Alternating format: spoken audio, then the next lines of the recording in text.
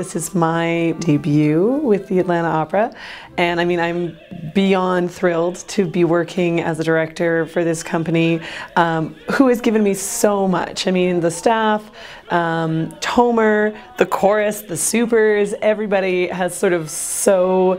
Um, fed into my education um, as a member of the studio artist program and now as a director it's it's really amazing actually to be working for a company where you just have that much support and that much uh, confidence in in what you can do. I mean, Carmen is a very big show.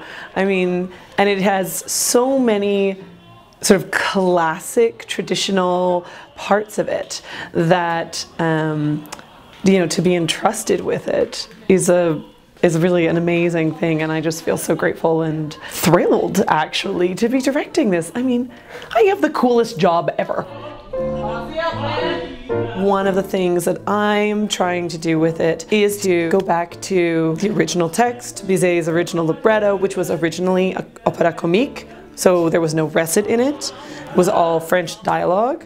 But I think that there's something very important in going back to that original source and seeing what story Bizet thought he was telling, and then trying to really make that story come through, and trying to honor the story that Bizet put out there. I am always surprised.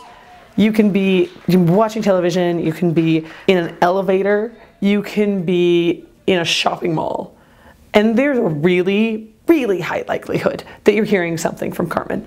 I do, like it's amazing, but it's everywhere.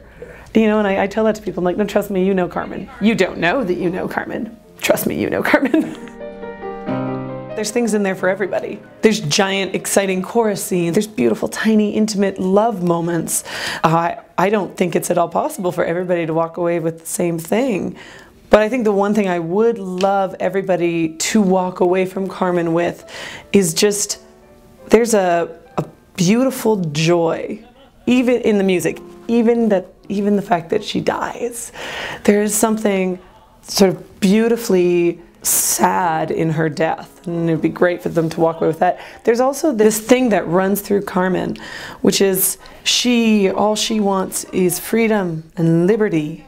That is what they sing about in act two. That is the thing that is sort of driving and existing within her always there's something in the story that's about the consequences of love and the consequences of freedom.